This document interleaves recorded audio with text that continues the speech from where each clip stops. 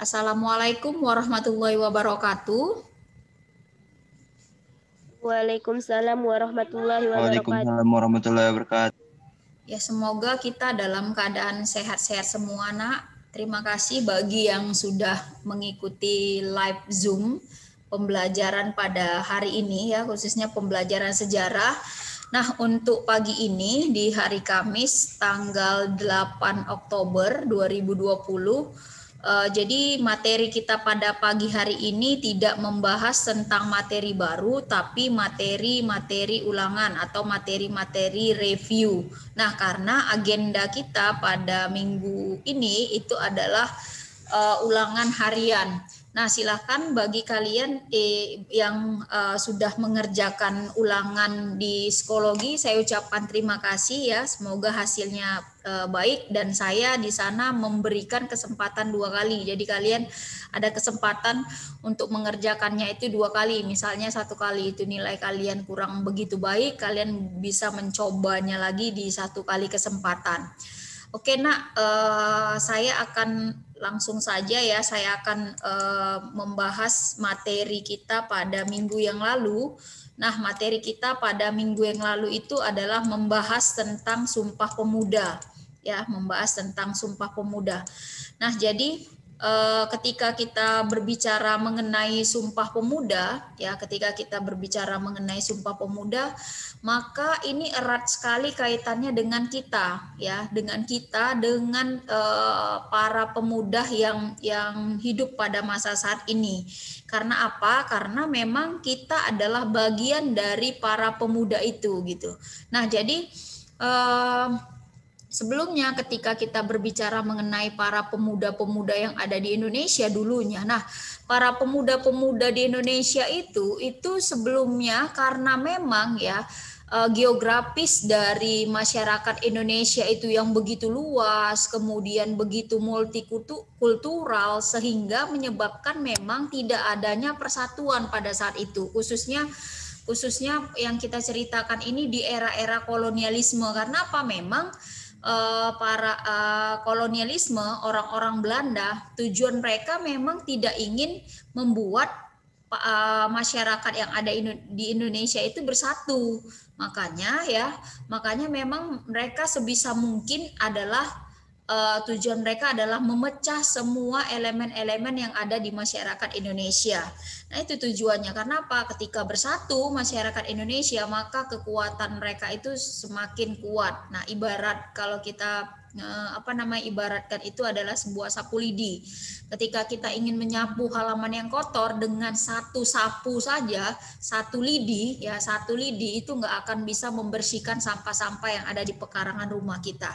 Tapi kalau kita mengumpulkan dua, ya tambah ada kekuatan tiga, empat, lima sampai dia menjadi satu kesatuan seratus lidi itu akan bisa menyapu halaman uh, rumah kita yang penuh dengan sampah. Nah seperti itulah uh, apa namanya penggambaran dari sebenarnya betapa hebatnya uh, semangat persatuan ya jika kita bersatu seperti itu nak. Nah jadi uh, para pemuda-pemuda di zaman kolonialisme itu ya sebelum adanya politik etis ya memang berpencar-pencar mereka nggak ada nggak ada bersatu padu. Nah, ketika terjadinya politik etis ya di bidang edukasi, maka para pemuda-pemuda yang bersekolah di luar negeri mulai tergerak hatinya, mulai e, merasakan bahwasannya apa? Eh, mereka adalah orang-orang dari Indonesia, mereka adalah orang-orang dari Hindia Belanda seperti itu. Nah, sama seperti kalau kalau kita berbicara sekarang ini ya, misalnya eh, kalian nih, kalian misalnya sudah setelah eh, selesai tamat sekolah dari SMA unggulan CT Foundation kalian ada yang kuliah di UGM, ada yang kuliah di UI, ada yang kuliah misalnya di ITB, ada yang kuliah misalnya di UNAN dan segala macamnya. Nah, kalian pasti di sana akan disambut dengan orang CTF juga, anak-anak CTF, sister dan brothernya di sana. Karena apa? Karena mereka menganggap kalian itu adalah saudara mereka, satu rumpun, sama-sama berasal dari CTF. Nah, ketika kita berbicara mengenai para pemuda-pemuda yang belajar di luar negeri pun sama seperti apa yang kita rasakan saat ini pada saat itu ya. Jadi para pemuda-pemuda yang yang uh, sekolah ataupun belajar di luar negeri kita sebut saja misalnya di Belanda, di Jerman, ya kan mereka itu merasa bahwasannya mereka adalah satu kesatuan. Dan ketika mereka ketemu mereka membicarakan visi dan misi. Artinya apa? Visi dan misi ketika mereka melihat ya bagaimana negara luar, bagaimana orang-orang Eropa itu bergaul, kemudian munculnya golongan-golongan liberalisme, mereka merasa bahwasanya apa? Betapa tertekannya bangsa Indonesia yang dalam belenggu penjajahan tadi gitu. Kenapa mesti ada penjajahan? Kenapa masih ada yang namanya eksploitasi gitu? Sementara orang-orang Eropa pada saat itu tidak tidak lagi mengenal yang namanya eksploitasi, tidak lagi yang mengenal namanya penjajahan. Nah, maka dari itu akhirnya ya, akhirnya si si apa ini si para pemuda-pemuda ini merasa uh, apa dia terbangun semangatnya Kemudian mereka akhirnya setelah mereka pulang dari tempat bersekolahnya seperti Belanda, nah mereka mulai membentuk nanti, mulai lagi membentuk suatu komunitas-komunitas pemuda yang sebelumnya memang sudah terbentuk di sana. Nah, ketika mereka di sini gitu kan e, kembali lagi ke Indonesia, maka mereka membentuklah ini dia yang Jong Sumatera, ini dia. Jong Ambon. Nah, kalau Jong ini artinya adalah orang ya orang Ambon, orang Sumatera. Kalau orang Sumatera itu meliputi dari mana? Oh, dari Aceh sampai dengan Sumatera Barat itu masuk di dalam Jong Sumatera Bon. Ada Jong Betawi, ada Jong Minahasa, Sekarukun, dan Pemuda Timur ini merupakan satu organisasi kepemudaan yang mulai ada benih-benih persatuan. Walaupun di awal ya persatuan tersebut, ya di awal persatuan tersebut hanya masih bersifat kedaerahan. Tapi awalnya memang masih bersifat kedaerahan, kemudian mereka bersatu dengan daerah-daerah yang lain sehingga membentuk satu elemen yang disebut dengan organisasi kepemudaan. Nah, itu dia. Nah, jadi eh, cita-cita untuk memerdekakan bangsa Indonesia itu sendiri itu memang muncul dari para pemuda-pemuda itu sendiri. Nah, seperti contohnya nih sekarang ini, kalian mungkin tertarik sekali ya uh, mendengar berita tentang pengesahan uh, undang-undang omnibus law. Nah, kalian pasti akan lihat tuh bagaimana sekarang ini di berbagai wilayah-wilayah yang ada di seluruh Indonesia itu lagi sedang mengadakan demonstrasi yang sangat besar-besar sekali ya, sangat besar-besaran besar sekali. Dan kalian tahu itu apa penyebabnya? Karena apa? Karena eh, undang-undang uh, tersebut dinilai sangat merugikan para pekerja-pekerja yang ada di Indonesia dan sangat menguntungkan pemerintah dan pengusaha. Sehingga terjadilah ya demonstrasi yang besar-besaran besar-besaran untuk uh, membuat sebuah apa namanya sebuah uh, terobosan ke, kebijakan itu undang-undang itu harus di apa harus di di apa lagi ditinjau ulang lagi nggak boleh nggak boleh berlaku. Nah seperti itu. Itu siapa yang yang menggerakkan? Apakah orang tua? Tidak. Yang menggerakkan itu adalah para pemuda-pemuda di mana para pemuda-pemuda itu masih kuat tenaganya masih smart ya kan? Nah mereka melakukan itu melakukan yang namanya apa? Aksi seperti itu. Mereka uh, berani untuk apa namanya mengkritik pemerintahan itu adalah tokoh-tokoh muda pada zaman saat ini. Nah, bagaimana pada eh, zaman dulu? Nah, pada zaman dulu ya, pada masa kolonialisme kita akan lihat bahwasanya apa? Para pemuda-pemuda ini bergerak itu bukan bukan bukan bergeraknya itu awalnya langsung melakukan demonstrasi besar-besaran, pemberontakan besar-besaran tidak mereka dengan cara-cara yang diplomatis sekali. Dengan cara apa? Pertama mengumpulkan para pemuda-pemuda. Nah, apa yang mereka lakukan? Pergerakan secara diam-diam. Jadi sudah lebih terarah lagi dia pergerakannya. Karena apa? Karena memang peperangan pada saat itu memang sudah di, dihindari ya oleh oh, khususnya oleh bangsa Indonesia karena memang sangat merugikan bangsa Indonesia itu sendiri. Seperti itu. Nah, jadi ketika kita membahas tentang para pemuda-pemuda tersebut ya kita akan melihat bahwasanya bahwasanya dalam proses pembentukan sebuah organisasi pembentukan sebuah komponen kepemudaan itu mereka punya uh, apa namanya tahapan tahapan-tahapan Antara lain adalah tahapan-tahapannya mereka mengadakan sebuah pertemuan, baik itu kongres pemuda ataupun pertemuan para pemuda yang pertama sekali. Nah, kemudian ada pertemuan kongres pemuda yang kedua, ini terus dilakukan oleh mereka. Nah, ini jadi kronologi-kronologinya. Kalian bisa lihat ini adalah materi saya di minggu yang lalu ya. Jadi ketika kita berbicara mengenai para pemuda-pemuda ya seperti ini gitu ya, ya seperti inilah memang kejadiannya pemuda-pemuda di masa dulu di masa kolonialisme dan sekarang di era modern. Nah kita mungkin mungkin kita langsung saja mungkin uh, supaya lebih enak kita di sesi tanya jawab aja nak. Ada yang apa yang mau bertanya jadi kita kalau misalnya sharingnya tanya jawab itu saya rasa lebih lebih enak lagi. Ada yang mau bertanya, nak, biar supaya saya uh, apa namanya, biar enak lah gitu. Kita uh, saya mengajarnya. Oke, ada yang bertanya, nak, silakan yang berkaitan tentang kepemudaan di era kolonialisme dan uh, uh, pada saat masa saat ini sekarang silakan.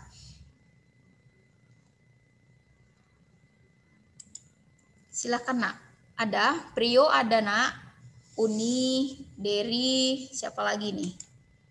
Kemudian ada Rafida yang baru oh, bergabung dengan Miranda. Silahkan nak, ada yang mau ditanyakan tentang materi review hari ini?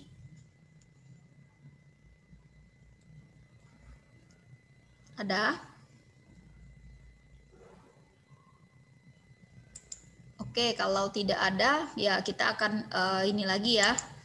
Kita akan lanjutkan lagi uh, di apa? di uh, materi kita berikutnya. Nah, jadi kemudian setelah para pemuda-pemuda itu mengadakan sebuah perkumpulan ataupun sebuah kongres, nah maka hasil-hasil uh, dari kongres tersebut itu nantinya akan disosialisasikan untuk para pemuda-pemuda yang yang berasal dari daerah-daerah seperti apa seperti uh, Jong Minahasa. Nah, itu akan di, disosialisasikan. Jadi memang perjuangan mereka itu memang dari para pemuda-pemuda yang ikut organisasi ini kemudian menyebarkannya ke misalnya ke satu daerah atau ke daerah-daerah yang berasal dari daerah tersebut. Misalnya uh, Jong Minahasa. Berarti yang dimaksud dengan Jong Minahasa ini adalah para pemuda-pemuda Minahasa. Nah, para pemuda-pemuda Minahasa yang di pusat itulah akan akan uh, bertugas uh, mensosialisasikan ke daerahnya masing-masing tentang apa? Tentang hasil dari Kongres Pemuda. Apakah semudah itu untuk mensosialisasikan? Enggak, karena apa? Kita harus yang namanya harus berperang dengan yang namanya adat istiadat ya. Adat istiadat kemudian e, dengan tradisi. Nah karena apa? Karena memang watak dan karakter Indonesia ya bangsa Indonesia para pemuda-pemuda Indonesia karena memang sudah lama dengan dibahas apa namanya uh, terjadi penjajahan, maka karakter bangsa Indonesia ini dia mudah sekali tidak percaya terhadap sesuatu hal. Makanya para pemuda-pemuda ya pusat eh, baik itu dari Jong Minahasa, Jong Sumatera itu ketika mereka mensosialisasikan kepada masyarakat di, di daerahnya itu sangat sulit sekali karena apa? Belum munculnya kesadaran-kesadaran pada waktu itu. Jadi mereka memang uh, berusaha kuat dan uh, apa namanya dan mereka nggak henti-hentinya untuk mempropagandakan mempropagandakan tentang kemerdekaan itu. Ketika mereka percaya bahwasanya apa? Bahwasanya maksud dari para pemuda itu memang baik yaitu ingin melepaskan diri namanya penjajahan baru mulailah sedikit demi sedikit terjadi persatuan pada saat itu. Nah, kemudian dilanjutkan dengan Kongres Pemuda yang kedua ya, Nak ya. Nah, jadi pada Kongres Pemuda yang kedua bisa kita lihat di situ nanti akan menghasilkan seperti yang saya sebutkan uh, pada minggu yang lalu di, di situ disebutkan tentang ya uh, munculnya satu kesepakatan membuat sebuah ikrar ya membuat sebuah ikrar tentang uh, kepemudaan tentang Indonesia pada saat itu. Nah jadi kita bisa lihat ketika kongres kedua itu menghasilkan sebuah sebuah apa namanya sebuah uh, aturan ataupun sebuah apa namanya kebijakan. Nah, sebuah aturan-aturan itu adalah pengukuhan ya kalimat kami kalimat pengukuhan kalimat-kalimat yang bersifat nasionalisme supaya lebih membawa para pemuda-pemuda Indonesia itu memang lebih bersatu lagi. Nah, ini dia isinya. Mungkin kalau di setiap tanggal eh, 28 Oktober kita peringati sebagai Hari Sumpah Pemuda ya. Nah, ini dia. Jadi kalian bisa lihat kami putra dan putri Indonesia mengaku bertumpah darah satu tanah air Indonesia. Kami putra dan putri Indonesia mengaku berbangsa satu bangsa Indonesia. Kami putra dan putri Indonesia menjunjung tinggi bahasa persatuan bahasa Indonesia. Nah, ini adalah ya uh, hasil dari rapat kedua para pemuda. Artinya mereka apa? Mereka sepakat bahwasanya apa? Mereka uh, apa namanya menyatakan bahwasanya tanah air mereka itu adalah tanah air Indonesia. Kemudian bangsa itu bangsa kita adalah bangsa Indonesia dan mengukuhkan tentang bahasa yang akan dipakai oleh bangsa Indonesia pada saat itu bukan bahasa-bahasa daerah, melainkan apa? bahasa Indonesia karena pada saat itu ya bahasa Indonesia mulai muncul bahasa Indonesia mulai dikenal oleh eh, eh, orang-orang uh, yang ada di Indonesia khususnya yang ada di pusat. Karena apa? Karena ketika para pemuda-pemuda Indonesia melakukan sebuah pertemuan, nggak mungkin mereka itu membawa ataupun membicarakan dengan bahasa daerah mereka masing-masing. Pasti mereka akan memakai bahasa yang disebut dengan bahasa Melayu pada saat itu ya. Karena rumpun dari bangsa Indonesia itu adalah rumpun Melayu dan kemudian bahasa Indonesia pun muncul. Nah, jadi mereka menyatakan bahwasanya bahasa yang dipakai itu adalah bahasa Indonesia. Nah, jadi asal muasal bahasa Indonesia juga merupakan salah satu ya uh, latar belakang dari Sumpah Pemuda ini. Artinya para pemuda-pemuda yang ada di seluruh Indonesia itu awalnya memang tidak menggunakan bahasa Indonesia tetapi menggunakan bahasa daerahnya masing-masing. Otomatis setiap misalnya daerah di Sumatera, Sumatera Utara aja kalau kita lihat ya itu bukan satu etnis yang hidup di Sumatera Utara, tapi ada banyak etnis ya, mulai dari ada Batak, kemudian Melayu, Jawa di sana. Ketika eh, satu elemen ini menggunakan bahasa daerahnya, maka elemen-elemen yang lain nggak paham seperti itu. Nah, makanya yang untuk memahamkan adalah menggunakan bahasa yang sudah baku yaitu bahasa Melayu. Jadi bahasa Melayu Indonesia itu disebut nanti bahasa Indonesia. Nah, seperti itu. Jadi ketika eh, rapat pemuda yang kedua ini menetapkan hasilnya ini, nah maka semangat persatuan pun kembali. Maka nasionalisme pun bagi orang-orang Indonesia itu mulai muncul dan berkembang di sini. Nah, itu dia. Jadi kalian bisa lihat ya, artinya apa? Perjalanan para pemuda-pemuda Indonesia menuju ya menuju ke arah sini ke arah yang modern sekarang ini itu sangat-sangat sulit sekali. Sangat-sangat penuh dengan uh, apa halangan, rintangan karena apa? Mereka nanti akan di apa namanya akan dikejar-kejar oleh polisi Belanda, mereka akan ditangkap ya kan, kemudian dipenjarakan. Nah, untuk apa? Untuk membela yang tadi kemerdekaan, untuk melepaskan diri dari penjajahan, seperti itu dia. Makanya ketika kita sekarang ini sudah merdeka, dalam konteks merdekanya, dalam konteksnya merdekanya lepas dari kolonialisme Belanda, namun pada kenyataannya kita juga masih uh, terjajah, terjajah dalam dalam dalam apa? Dalam dalam hal uh, budaya kita terjajah, dalam hal uh, ekonomi, dalam hal politik kita masih terjajah. Nah, kita sebut saja misalnya budaya. Kenapa saya bilang saat ini bangsa Indonesia pun terjajah? oleh uh, di di masalah budayanya kita lihat sekarang budaya budaya budaya budaya Indonesia ya budaya budaya di Indonesia itu yang tradisionalnya itu sudah hilang. Kita sudah melupakan budaya budaya Indonesia. Salah satu yang masuk di dalam rumpun budaya itu adalah makanan. Nah eh, anak-anak yang sekarang khususnya kalian ya mungkin ya kalian akan lebih mengenal makanan-makanan yang sifatnya itu datang dari luar seperti apa? Pizza ya kan? Kemudian apalagi ya uh, uh, udon origami udon dan segala macam yang memang dari luar nah kalian lupa bahwasanya apa kalian itu punya makanan-makanan yang yang sifatnya tradisional seperti apa misalnya ombus-ombus, pecel. Nah, seperti itu mulai lupa dengan apa? Karena apa? Karena masuknya budaya-budaya asing itu cerita dari bentuknya kolonialisme bangsa Indonesia ya, kolonialisme ke Indonesia. Kemudian dalam bidang ekonomi kalian lihat bangsa kita sendiri yang mempunyai yang mempunyai negara ini tetapi menjadi pekerja, menjadi buruh yang yang yang dalam dalam konteks buruh tersebut dalam konteks yang terendah ya kedudukannya. Artinya apa? Merdekalah kita ketika buru-buru ketika kita sendiri menjadi buruh menjadi pekerja kasar di negara kita Indonesia itu sendiri. Sementara yang mengatur kita adalah orang-orang asing.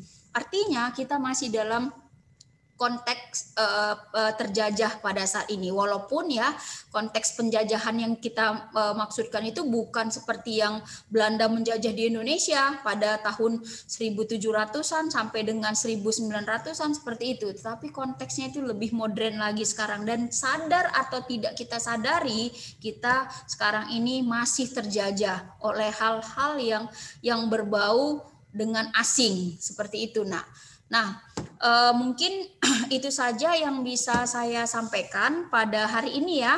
Uh, jadi uh, silahkan kerjakan soal-soal di psikologi ulangan harian. Semoga hasil kalian itu lebih baik lagi ya dan bisa memperbaiki nilai kalian. Oke, minggu depan kita akan membahas materi yang baru lagi. Sekian dari saya. Assalamualaikum warahmatullahi wabarakatuh. Waalaikumsalam warahmatullahi wabarakatuh. Waalaikumsalam warahmatullahi wabarakatuh. Oke.